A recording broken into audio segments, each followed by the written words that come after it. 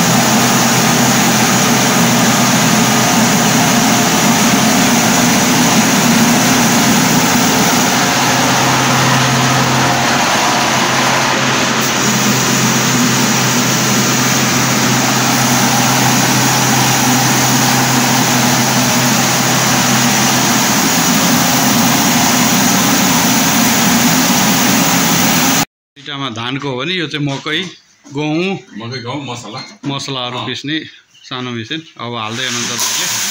अब मेसिन चाहिँ नि गननमा स्टार्ट हुन्छ। यतापट्टि झर्ने ठाउँमा धुलो नउडोस् भनेर यहाँ चाहिँ नि एकदम काम पक्का गर्नुभएको छ। टक्क बाँधेर गरिसकेपछि पाँच किलो ल्यायो भने दस किलो ल्यायो भने बिस किलो ल्यायो भने सुरक्षित। उड्न पनि पाएन अँ। अब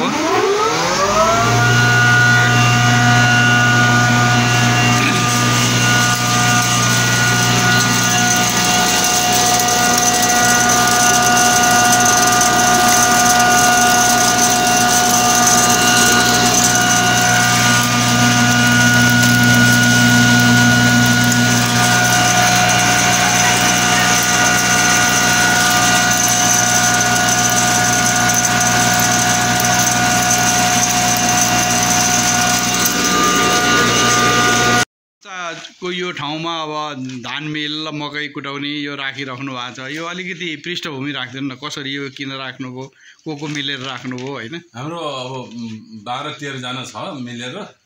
समूह समूह। समूहको मिलेर यो राखेको होइन।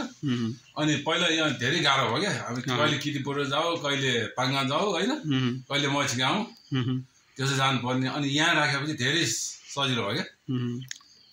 अनि यो पालिसको सिस्टम पनि रहेछ दुईवटा छ यसको यो यसको र यसको अलिकति फरक बताइदिनु यसमा यो यसमा सुरुमा सुरुमा त्यो बख्रा निकाल्ने होइन।